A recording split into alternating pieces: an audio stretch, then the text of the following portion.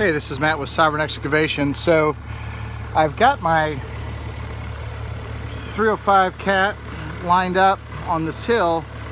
I turned it around and the blade is normally in the front and I turned the body around to distribute the weight and actually pushed myself up with the rear blade to level off the machine to get a straight or a straighter bore angle on this hill. So let me come over here and see what we got. So I'm gonna try to get a little bit closer. You can see that if I if I let the blade down a little bit like that, if I let the, not the blade, but the, the auger down, it needs to be a little bit straighter. So I'm going to